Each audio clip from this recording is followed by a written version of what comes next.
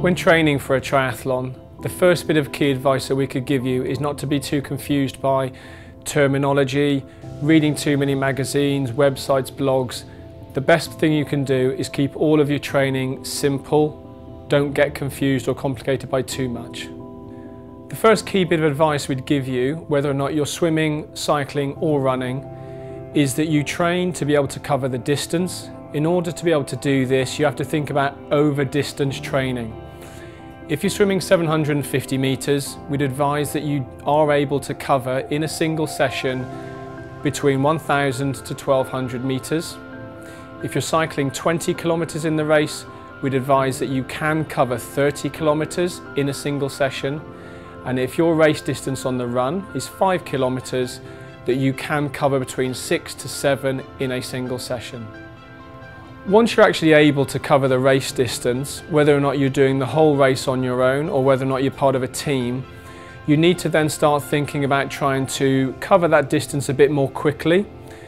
One key session we'd advise here is that you do something called interval training.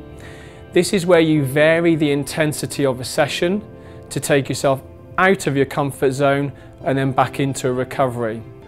A great example of an interval session, if you were going to either cycle or run, would be that you start off with a 5 to 10 minute warm up, but then you go into 2 to 3 minutes of very high intensity. If you imagine an 8 or a 9 perceived effort out of 10, then you come back down to a 5 or 6 out of 10 for 3 to 4 minutes.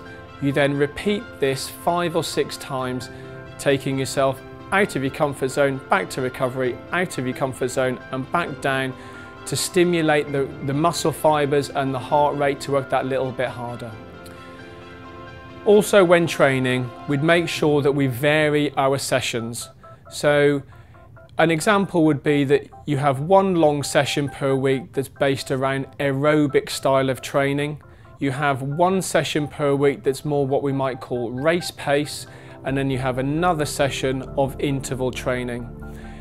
Combined, all of these sessions will allow you to promote the kind of results that you want to achieve the best possible race on the day.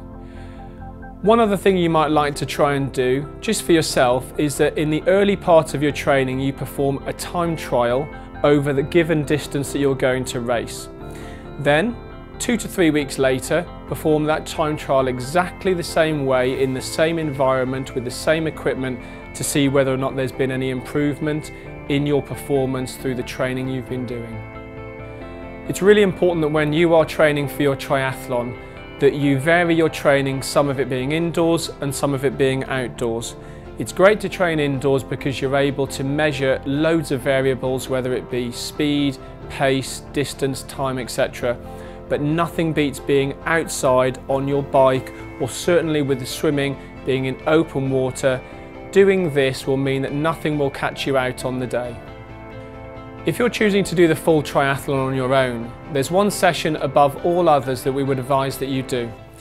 Triathletes would call them a brick session, and it's given the name of a brick session because you're layering one sport on top of another.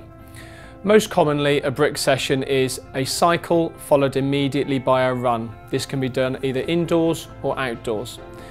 A good example of a brick session would be a 20 minute cycle at race pace followed by a two mile run at race pace. Then immediately another 20 minute cycle at race pace followed by another two mile run. And there is a sensation that your legs go through when you come off the bike where they feel like jelly the more you can do of these sessions, you'll feel fully prepared on the day and nothing will catch you out.